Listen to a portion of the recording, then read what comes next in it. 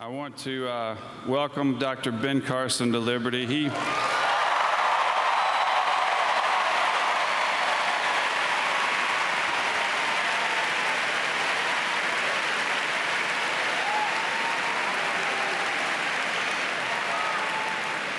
My, uh, my sister is a surgeon like Dr. Carson, and he performed the first successful separation of twins conjoined at the head, the back of the head, and he um, has 67 honorary doctorate degrees. It made me feel bad that we didn't get one for you this morning because you could get to 68, but we'll, we'll mail it to you. Please welcome Dr. Ben Carson, Liberty University.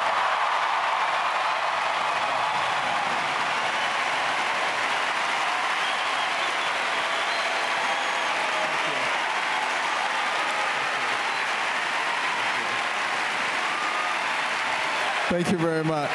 Thank you. Thank you. Well, Candy and I are absolutely delighted to uh, be here with you today, and uh, that's Candy right over there. Candy, can you stand up so they can see you?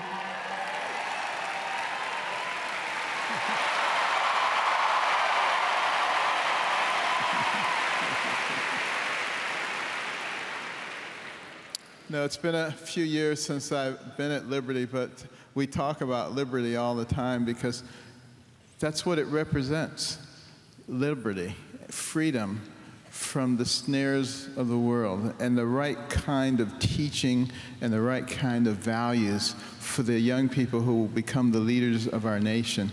And you're such a vital part of the future of this nation.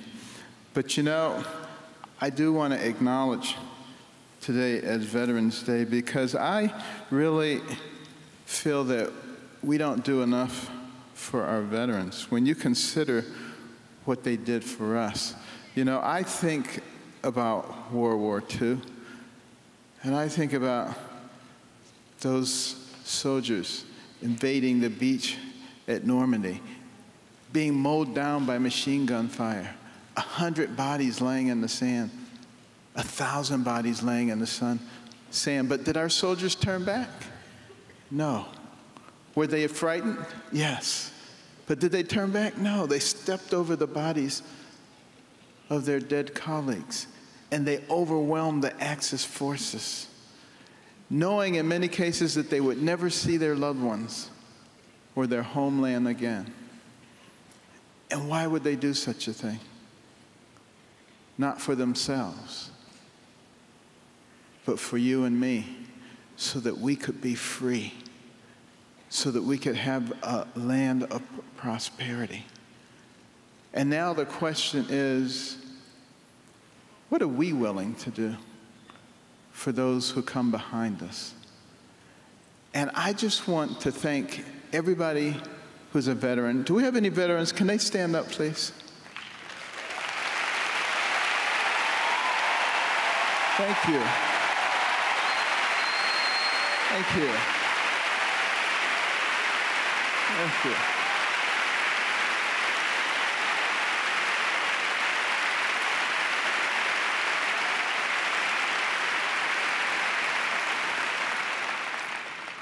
Such a sacrifice and something that we all must begin to think about in our lives because there is nothing that is really free, and particularly the concept of freedom. But you know, we should be so delighted that we live in America. Is there a better place to live than America? I don't think so. I've been to 57 countries, and some of them are beautiful places, but I'm always delighted to get back here because there's something special about the nation that we live in. Have you ever noticed that there's an American way? There's an American dream. There's no French dream. there's no Canadian dream. There's, you know.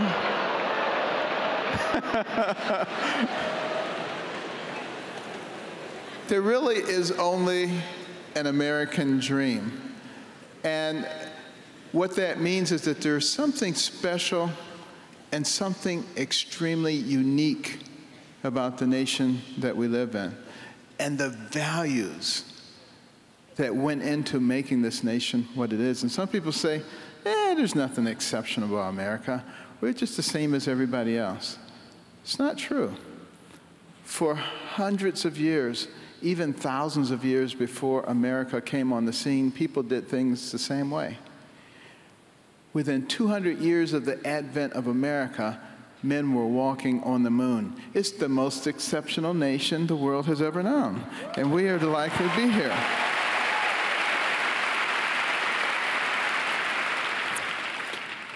Having said that, you know, it's the land of dreams. And the dream for me, as for some of you with your white coats on, was to be a doctor. I wanted to be a doctor, you know? I loved anything that had to do with medicine. I even liked going to the doctor's office. I mean, I would gladly sacrifice a shot just so I could smell those alcohol swabs, you know? I mean, it was great. But the problem was, I wasn't that great a student. In fact, I was a horrible student. And uh, everybody called me Dummy. That was my nickname. And I believed it too. I didn't think I was very smart. And I remember once we were having an argument in the schoolyard about who was the dumbest kid in the class.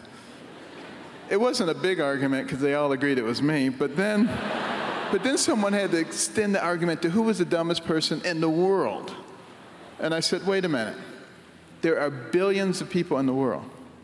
And they said, yep, and you're the dumbest one. So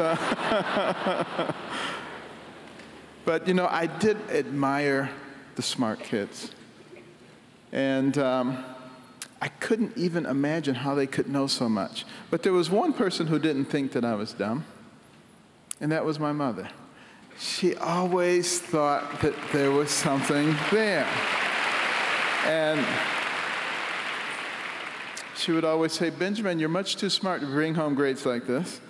I brought them home anyway, but she was always saying that. And she just didn't know what to do, and she prayed and she asked God for wisdom to know what to do to get her sons to understand the importance of intellectual development. And you know what? God gave her the wisdom, at least in her opinion. My brother and I didn't think it was wise at all. I mean, turning off the TV, what kind of wisdom is that? making us read two books apiece from the Detroit Public Libraries and submit to her written book reports, which she couldn't read, but we didn't know that. And she would put check marks and highlights and underlines, and we would think she was reading them, but she wasn't. And, uh, you know, people are always saying to me, Why did you do it? Your mother was always working. She wouldn't have known whether you read the books or not. Yes, she would have. And back in those days, you had to do what your parents told you.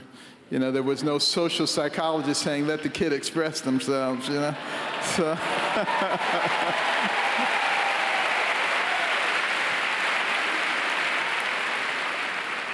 and, and as I read those books, incredible things began to happen. I began to, to realize, particularly as I read about people of accomplishment in all kinds of fields, that the person who has the most to do with what happens to you in life is you. It's not somebody else, it's not the environment. And that was incredibly empowering to me. And I stopped listening to all the people around me, all the naysayers who talked about what couldn't be done. And I started thinking about what could be done and what a difference it made in my life. And you know, fast forward to medical school. I said, wow, I made it. I finally got there. My only dream was to be a doctor. I skipped right over firemen and policemen, went right to doctor. And there I was finally in medical school, and it was going to be great, except the first set of comprehensive exams. And I did terribly. And I was sent to see my counselor. And he looked at my record. He said, You seem like a very intelligent young man. I bet there are a lot of things you could do outside of medicine. and he said I should drop out of medical school. He says, You weren't cut out to be a doctor. I was devastated.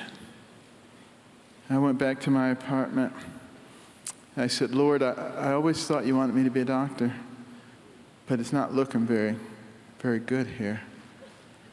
And uh, I started praying for wisdom. And I started thinking about what was happening with me. And I, I was going to a lot of classes, but I wasn't really learning anything from the classes. And I thought back academically, I said, the th- thing that really teaches you a lot is reading. So I made an executive decision, and I'm not recommending this to anybody, but I made an executive decision to skip the boring lectures and to spend that time reading. And the rest of medical school was a snap after that. And, you know, the point there being that everybody learns in a different way. I personally don't learn anything from boring lectures, but I learn a lot from reading. Now, there are other people who learn a great deal from boring lectures. And that's how they learn. Other people, you know, they learn from discussions. Some people learn from repetition. Some people are very visual. One of the other things I discovered is that, you know, I was very visual, so I made flashcards for everything that I needed to know. I had literally thousands of flashcards. Always had a bunch of flashcards in my pocket. I remember my second year in medical school, I was living with my brother who was in the School of Engineering.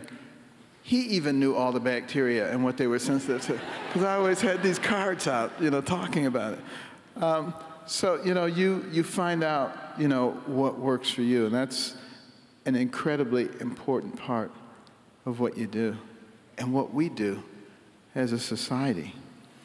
Because God has endowed us with these amazing brains. And we're made in the image of God. And you know, I get a lot of grief out there. People say, How can you be a scientist and believe that God created the earth? You know, obviously, you know, we developed from a puddle of promiscuous biochemicals. And if you believe anything other than that, you're a moron. And, uh, you know, I don't criticize them. I say, can you tell me how something came from nothing? And of course, they can't. They say, well, we don't understand everything. I say, okay, no problem. I say, I'm just going to give you that there's something. Okay. And now you're going to tell me there's a big bang and it comes into perfect order so that we could predict 70 years hence when a comet is coming, that kind of precision. And they say, well, yeah. And I said, but don't you also believe in entropy, that things move toward a state of disorganization? Well, yeah.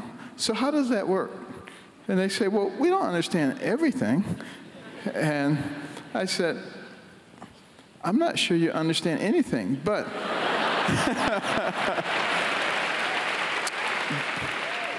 but I say, I'm not going to be critical of you.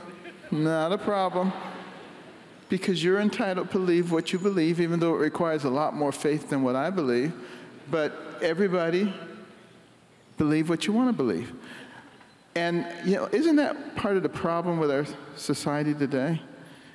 People want to force their beliefs on everybody else. I believe that the Constitution gives everybody the same rights, but it doesn't give anybody extra rights. And that's where the problem comes in.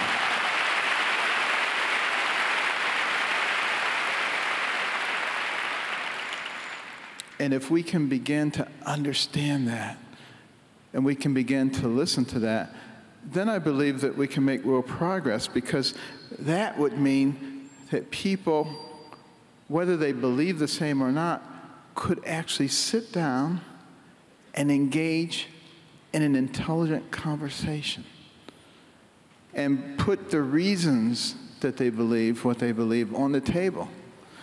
Because when you live in a pluralistic society, it is absolutely crucial that we learn how to do that. It's also very vital that we begin to think about each other. We begin to think about those who come behind us. You know, when I look out there and I see all these young people, know, I think back to Thomas Jefferson, who said that it is immoral to pass debt on to the next generation. And when I think about what my generation is passing on to you guys, I mean, if we could bring Thomas Jefferson here today and let him see what's going on, he would immediately stroke out. I mean, he would not be able to believe the kind of debt that we are leaving there. I mean, 18 plus trillion dollars of national debt. Think about that. I mean, if you tried to pay that off at a rate of $10 million a day, it would take you over 5,000 years. And we're putting that on your backs. But that's the good news, because it's actually much worse than that.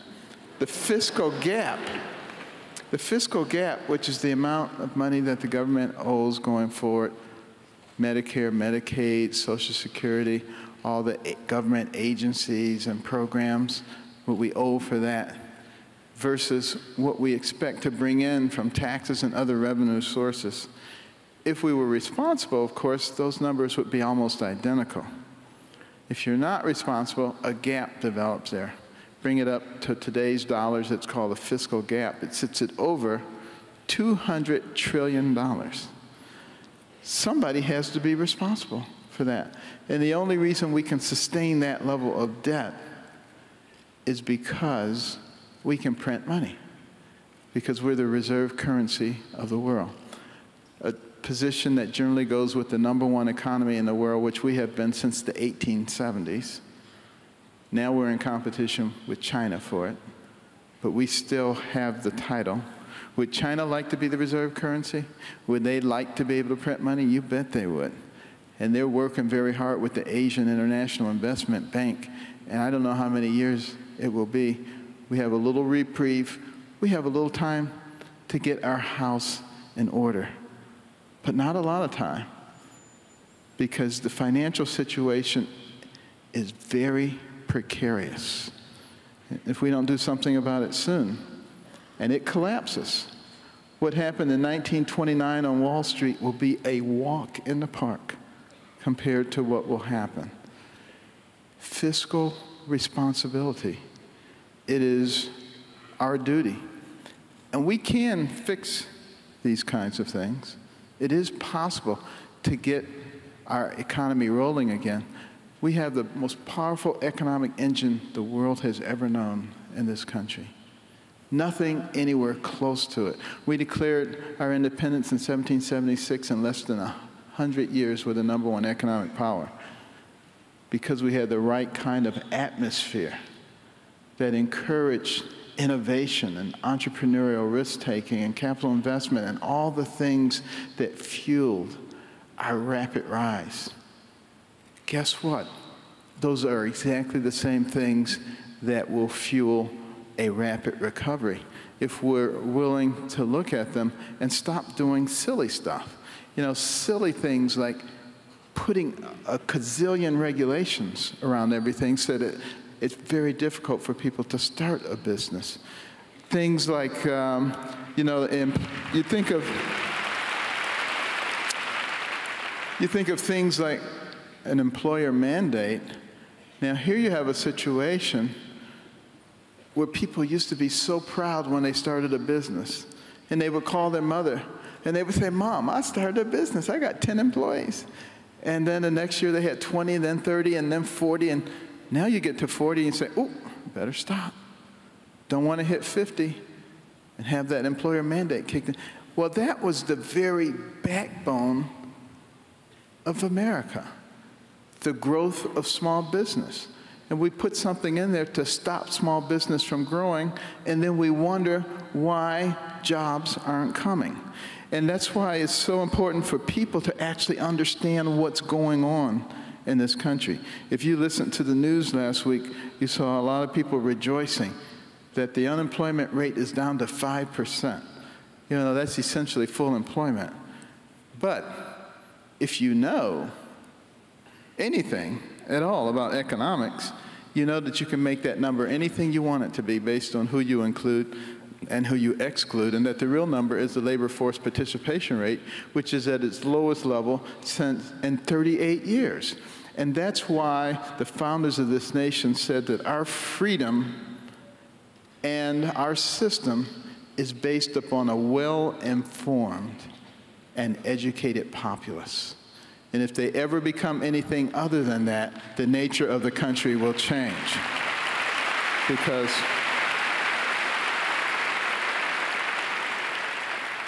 because if the people are not well informed, all it takes is unscrupulous politicians and news media, and off the people go in completely wrong direction, listening to all kinds of propaganda and inculcating that into their method of thinking.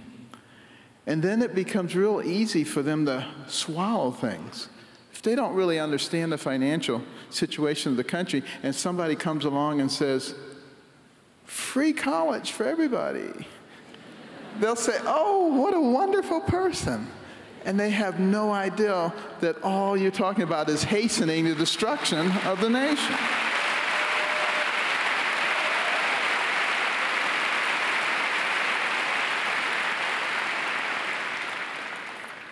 Well, I could talk about the economy for a long time, but let me just say before we start the Q&A.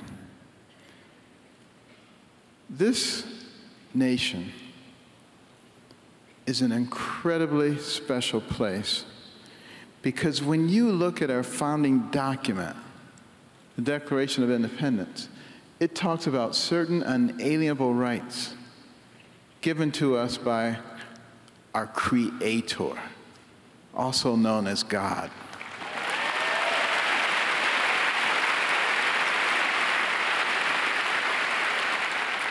And we have so many people now who are trying to push God out of our lives.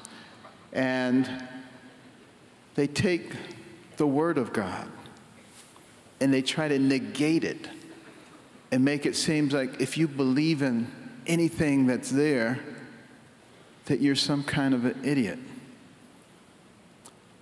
Well, let me tell you, our nation's survival as the pinnacle nation in the world, I believe is rooted in our value system, the values and principles that made us into a great nation. And the real question is are we willing to stand up for those values and principles? Or will we allow ourselves to be intimidated by the secular progressives? The secular progressives don't care whether you agree with them or not, as long as you sit down and keep your mouth shut. And I think that the secret to the prosperity in this nation is we must be willing to stand up for what we believe in. Thank you.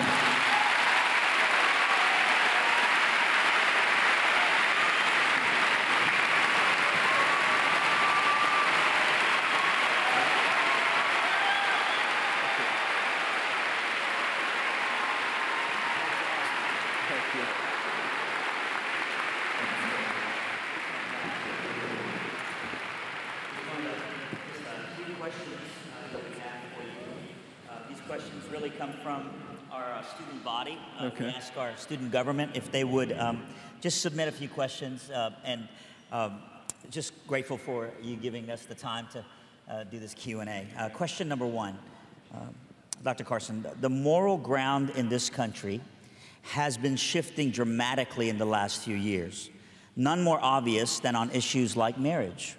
As a man of faith yourself, how would you govern in a society where traditional values like marriage seem to be the minority view? Well, I think uh, you, can, you can use the bully pulpit in uh, very effective ways uh, to once again level the playing field. Uh, you know, the First Amendment is incredibly important. It talks about freedom of religion, not freedom from religion, but freedom of religion. And we have got to encourage all the branches of the government to work effectively in, with checks and balances. What we've seen recently is the legislative branch, which is the branch that represents we the people, has more or less been acting like the peanut gallery, which means that the, that the executive branch and the judicial branch are overstepping their boundaries. And we're going to have to have a president who's willing to work with the legislative branch to put things back in order again. Specifically, we need legislation to protect the religious freedoms of people who believe that marriage is between one man and one woman. Yes, sir. Thank you for that, Dr. Carson. Um, one of our students wants to know, Dr. Carson, uh, you have proposed the idea of a flat tax, uh, even likening it to uh, tithing as it refers to, uh, you know, uh, proportional giving.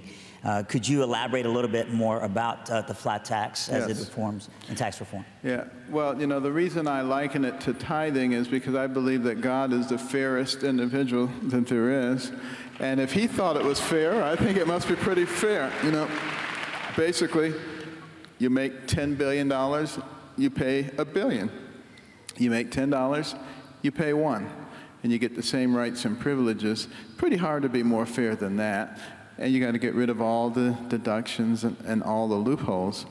And uh, everybody is then proportional. Now, the, the, my proposal takes into consideration poverty, and at the poverty level, you get a rebate.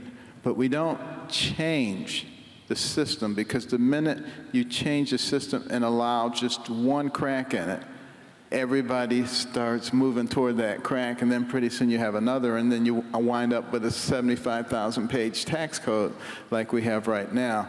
That's what we don't want. Now, now, some people say, but it's not fair because, you know, the guy who put in a billion, he's still got nine billion left. We need to take more of his money. Well, that's called socialism. And, you know, that just doesn't work. Doesn't work. And, um, and then the, the guy who put in one dollar, he only had 10. Some people say, well, that's not fair because he can't afford to put in a dollar. Of course he can afford to put in a dollar. He can afford to drive on public roads and send his kids to public school.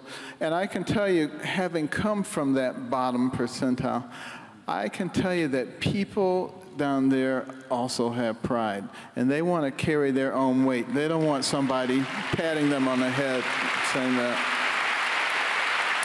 And and then the people say, well, the mortgage deduction, I'll lose my house. No, they won't, because they'll have so much more money in their pocket, they'll be easily able to pay their mortgage. And there are some who say there'll be no more charitable deductions, all the churches will dry up. Well, they don't realize that there were lots of churches in America before 1913 when the federal income tax went in place. And as people have more money in their pocket, they'll actually put more money in the plate when the tithe plate comes by, not less. It's not going to be a problem. It's fantastic. Uh, this was one of the, the main things that our students wanted to know, and it's interesting that you ask the Lord for wisdom. You were saying that in your time with us when you were speaking a few minutes ago.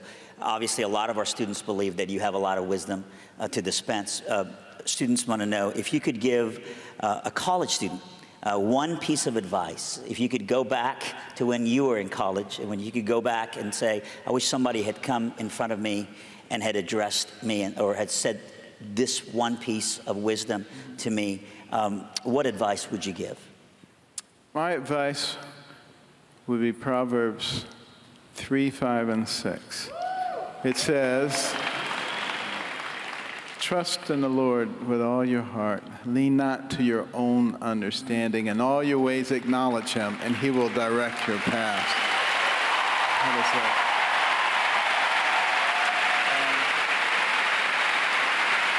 You know,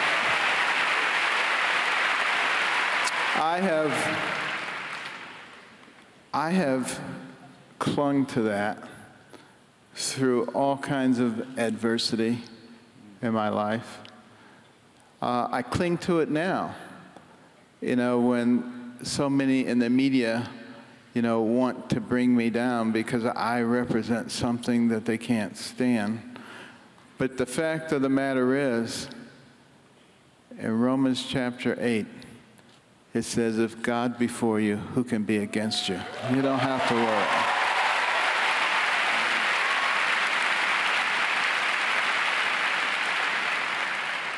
Thank you, sir. The, the one question that we ask, uh, whether it's a, a, a, a business tycoon or whether it's a Nobel Peace Prize winner or a politician that comes our way in our Q&A uh, is always the same question. I'm not a politician. That's right.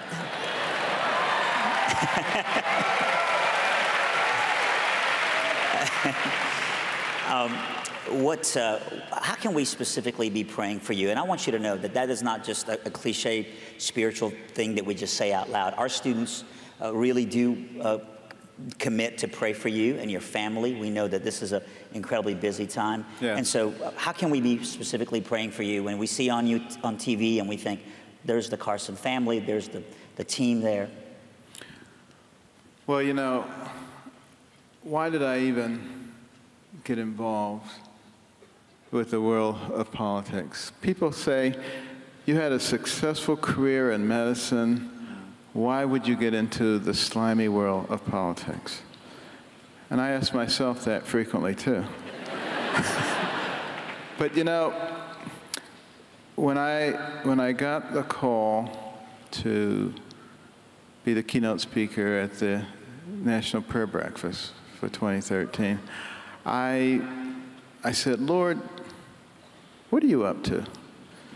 Because I had done it in 1997 and I wasn't aware anybody ever did it twice. And then I found out that one person had done it twice, and that was Billy Graham. And then I really knew he was up to something. And I said, What does the Lord want me to say? And I kept writing things down, and I said, No, that's not it. And I, right up until the night before the prayer breakfast, I still didn't know what it was. But when I awakened that morning, it was so clear what I was supposed to say. And it obviously resonated with millions of people. And then people started clamoring for me to run for president, which I thought was pretty absurd. Uh, I said, why would I even be thinking about something like that? I'm going to retire. I'm going to relax with my wife and have fun. Uh, but uh, I said, just ignore all that chatter out there. That will die down. But it didn't die down. It kept building and building. And all of the political professionals were saying, Carson run for president? Are you kidding me? That's ridiculous. He's not connected to any of the money. You know, he doesn't know anything. He has never been elected to public office. It's impossible. So don't even think about it. And I said, I'm glad to hear that. But, uh, but you know, it kept going. And I finally said, Lord, you know, this was not on my bucket list, but if you truly want me to do this, all the pundits say it's impossible, but nothing is impossible for you. So if you open the doors, I will walk through them. And, and he began opening the doors. We were able to put together an incredible team uh, including one of your alums, uh, Dean Parker, Parker, there. And, uh, and we, in, in terms of the money, they said, that's impossible. Can't raise that much money. Well, interestingly enough, we now have over 900,000 donations from average Americans, which they never anticipated that we, the people, could fund a campaign. They always thought it had to be the billionaires and the special interest groups. But the way it was actually designed is that it should be we the people, and it was designed for citizen statesmen and not for career politicians. And I believe the people are beginning to understand that.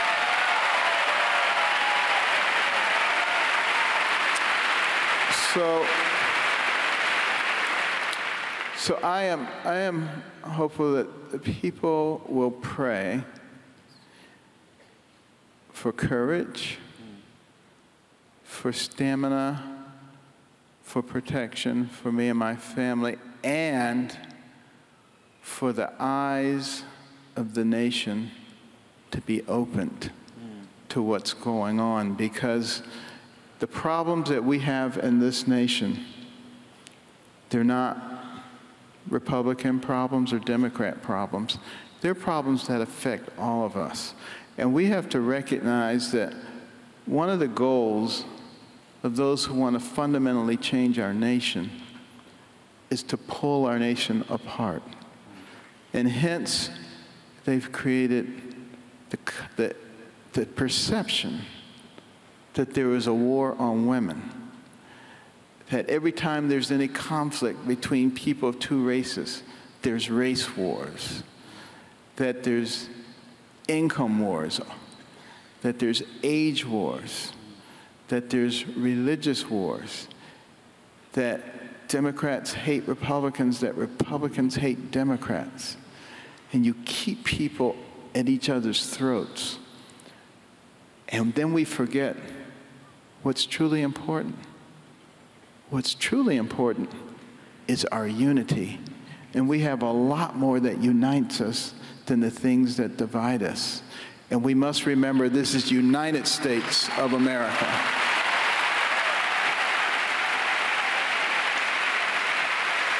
Amen. Um,